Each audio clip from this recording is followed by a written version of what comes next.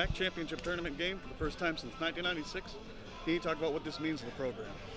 I, am a, I'm at a loss for words right now. I, I can't believe um, you know our guys hung in there. I mean, I, am very proud, of, obviously, of how they're performing.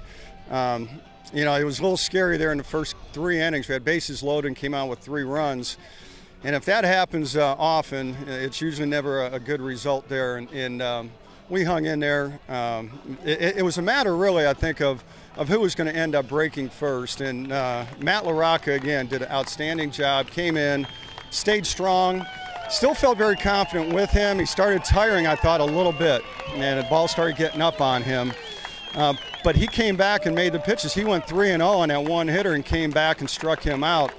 And so I think it just had to catch his breath. And uh, it's just good performances. You know, it all starts on the mound.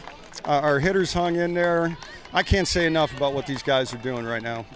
All right, fifth year senior James Sheltron was able to come into the game in a big situation uh, and drew, drew a walk is one of his biggest attributes as a player. Can you talk about him and how he came to be as a player? I'm very glad it happened to him. You know, he's a fifth year guy. He was hurt one year, and, and to have him up there in that situation to, to end up, you know, he didn't have to really swing the bat um, in that last pitch, but to have him up at home plate, I think it means a lot, and it means a lot to him, too. And it means a lot to us. All right, going into the championship game, what are you going to tell your team, and how are they feeling? Well, you know, I think there's not much that we can talk about right now. Uh, I think I've said this before at this stage we just step aside. These guys know they're smart enough to end up knowing what's going on.